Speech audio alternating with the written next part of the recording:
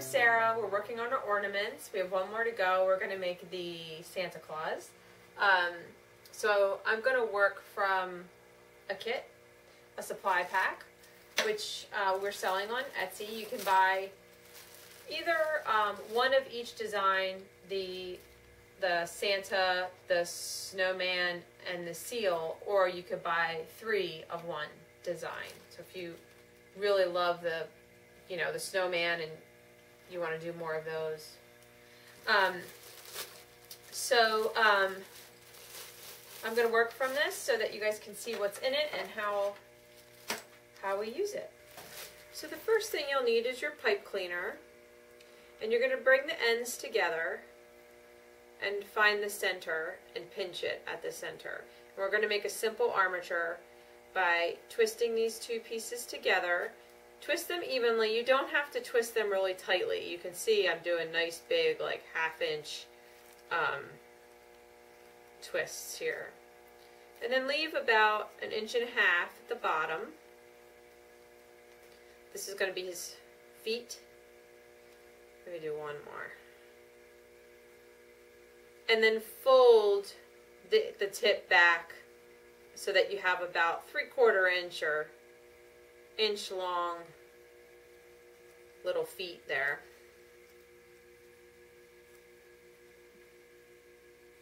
There they are. And we're going to wrap those with black first thing. So in your kit is some black. And just pull off a piece that's about two inches long and split it in half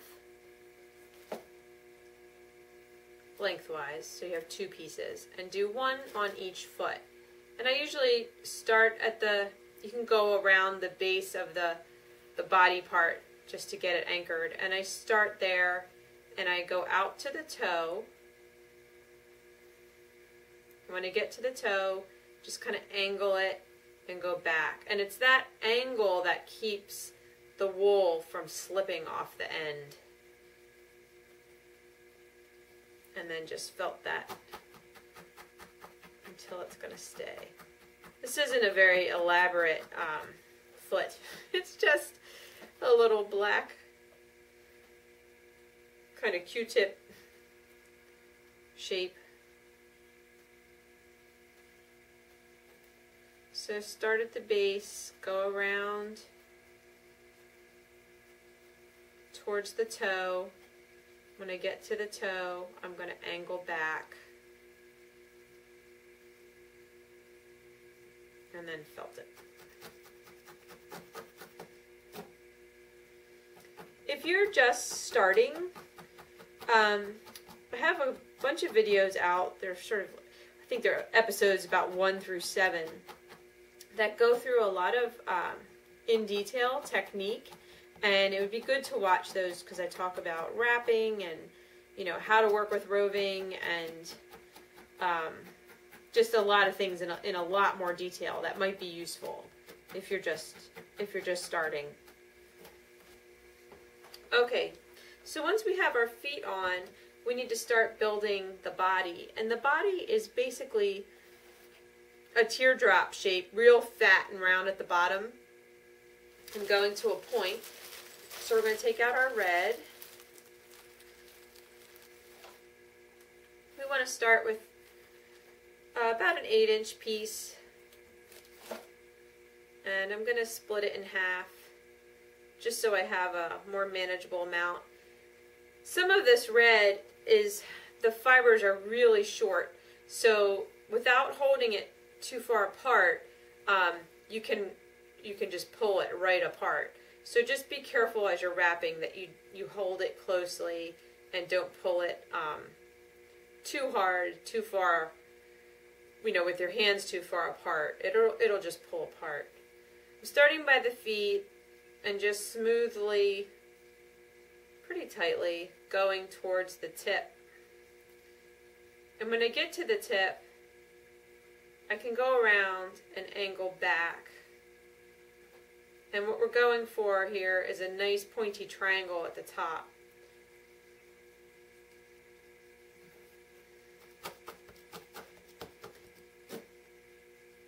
So the next piece, when I go towards the tip, I'm not going to go as far. So if I come here and angle back, then that'll leave this skinny and start to build up that, that triangle shape that we want at the top. So I'm starting at the bottom again, wrapping up, going about a half an inch from the top this time, and go back down. So that leaves that skinny point there. So now I really want to build up this this round you know body base area. So I'm going to take another 8 or 9 inch piece and I'm not going to split it in half this time.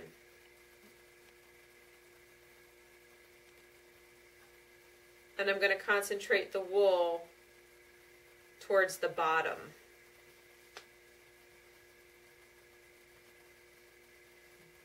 not even really going up on this hat area. It takes a lot. It takes a lot of this red wool to really make them nice and round. So I'm going for a nice, pretty firm consistency. Do another one.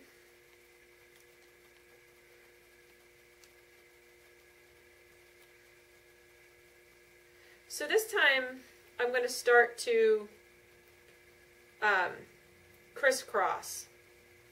And so I'm going to bring my wool this way and around and then this way. And I'm just going to keep making an X right on the belly. And what that does is it loads the wool in the center and tapers it towards the top and bottom. That wasn't a very long piece. I'll be able to show you better with this next longer piece so you can really see. Alright, we do a nice long like 12 inch piece. I always sort of straighten my wool out so that when I wrap it I know it's gonna go on smoothly. Alright, let me show you this X idea. So now I'm going bottom to top and around and now I'm going top to bottom and around bottom to, oops, see, broke my wool, bottom to top, and top to bottom.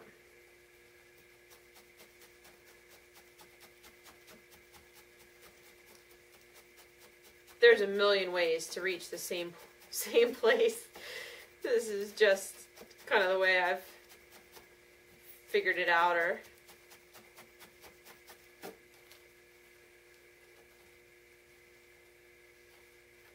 this time I think I'm going to just concentrate it right around the middle here just by wrapping.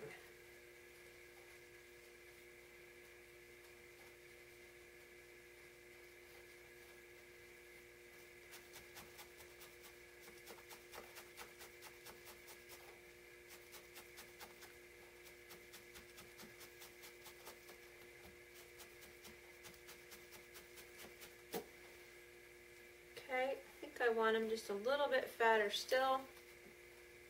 So I'm going to do one more piece.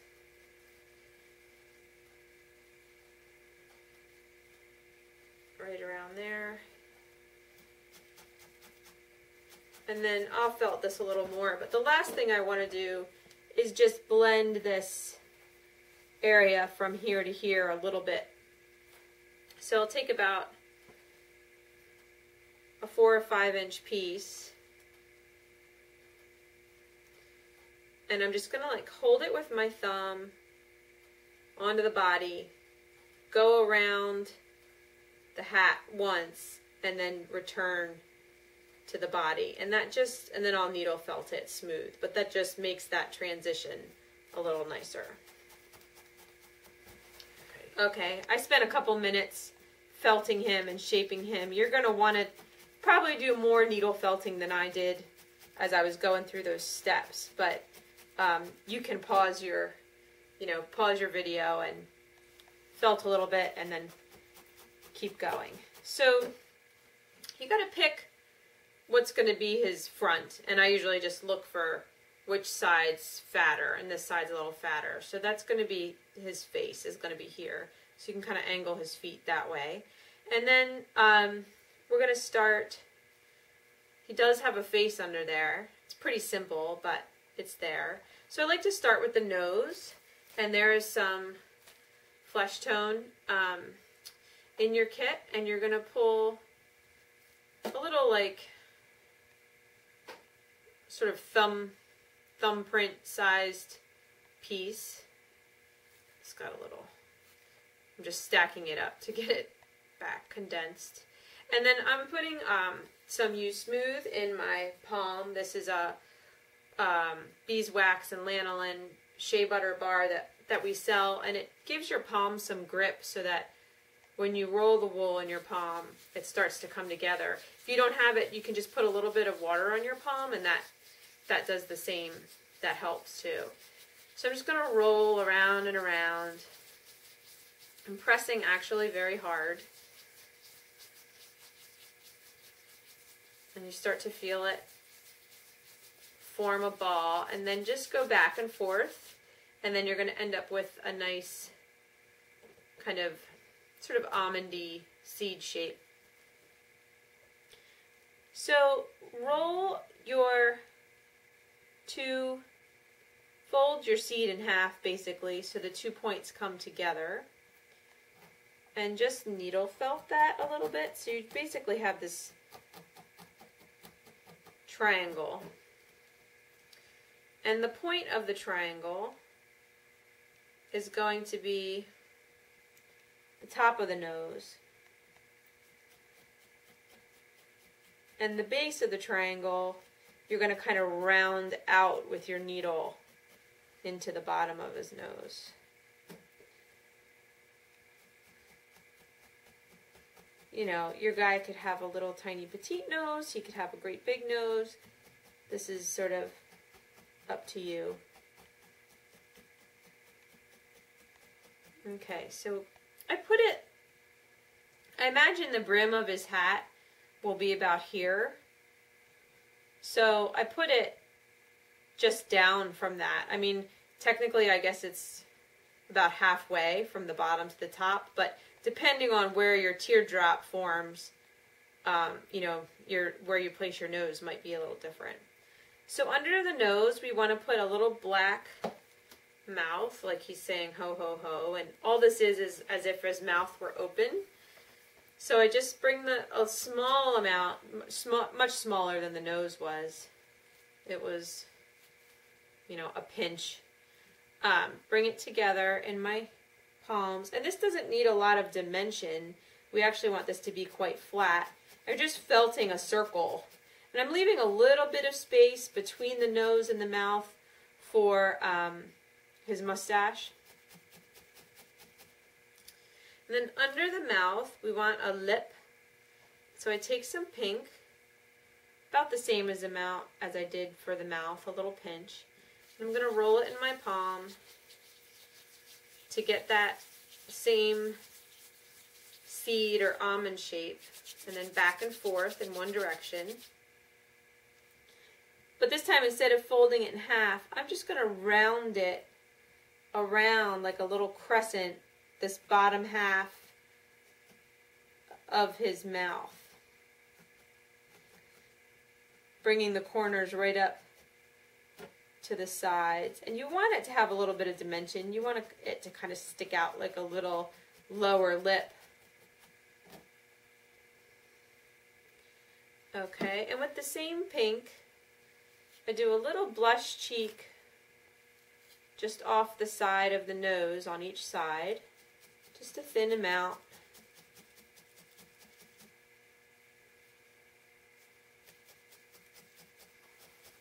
The whole rest of him pretty much gets covered with curls, which is the fun part.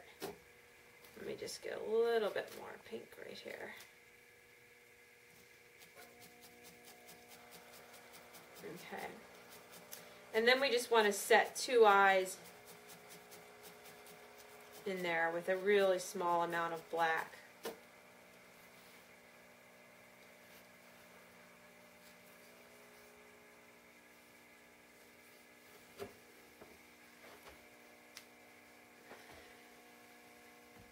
And I set them just just above the cheeks to the side of the nose. I'm doing this upside down. It probably is ending up looking absolutely crazy and I can't even tell. Let me see. Alright, not too bad. Turn him over for a minute so I can see him. okay. So, to put the curls on, we want to put the curls on before we put the brim of the hat on. In your kit are some little locks. These happen to be Teeswater locks. And we want to kind of select um, what you want, you know, for the mustache and sideburns and you got to kind of pick through them and see what you want.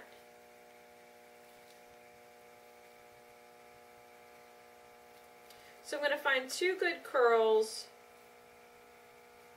for the sideburns. So you want to pick two similar um, nice long curls. Let me see, maybe I'll just split this in half and do each side.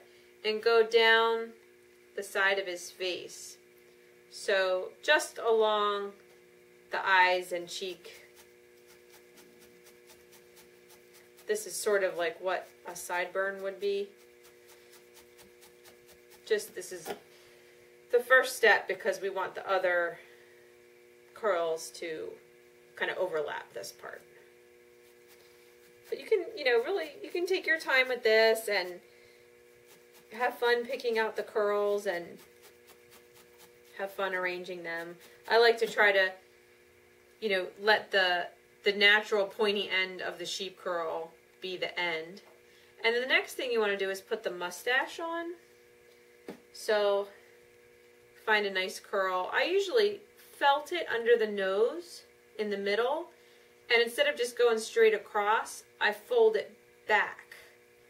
And then I do that on each side. So I would felt it right under the nose here, above the mouth. So you could just leave it like a mustache like that. Or I, I fold it back and then I just felt it a little more. And then I do the same thing on the other side.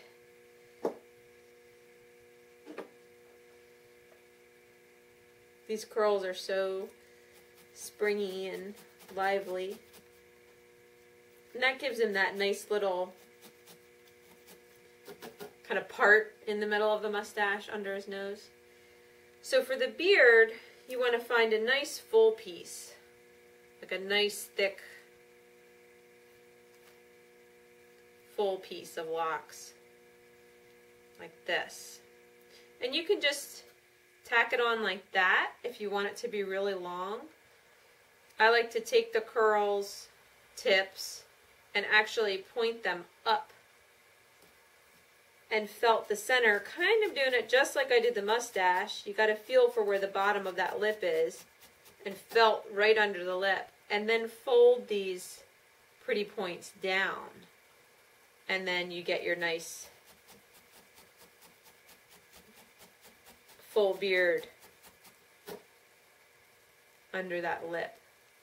And then I like to put two little eyebrows if you can find a short curl, great. If not, you can cut a curl in half. I'm sure it's probably hard to see what I'm doing because this is so small and curly. I usually angle the eyebrows up in the center so that he looks very happy and not angry. All right. Then you take some white.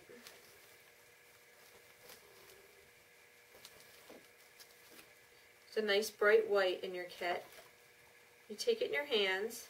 And I just start to roll it in my palm to start to form like a rope, kind of like a tube.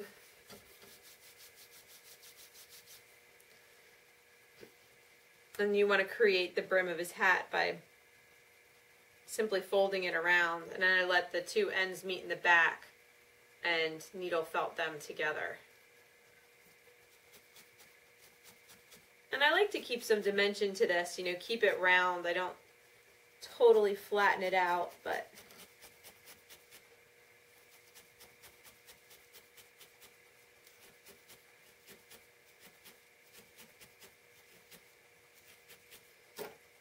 should get the hat brim on.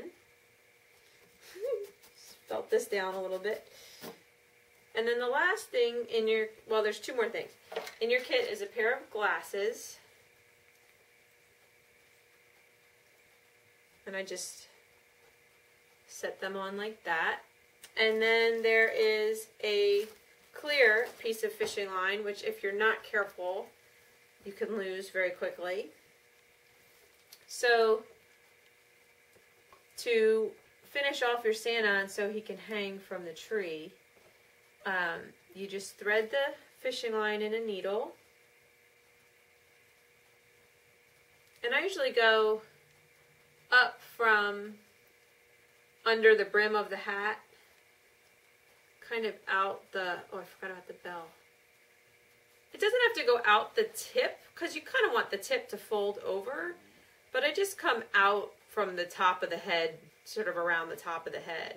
And you go back in and you try to come, you try to come out in the same spot in the back.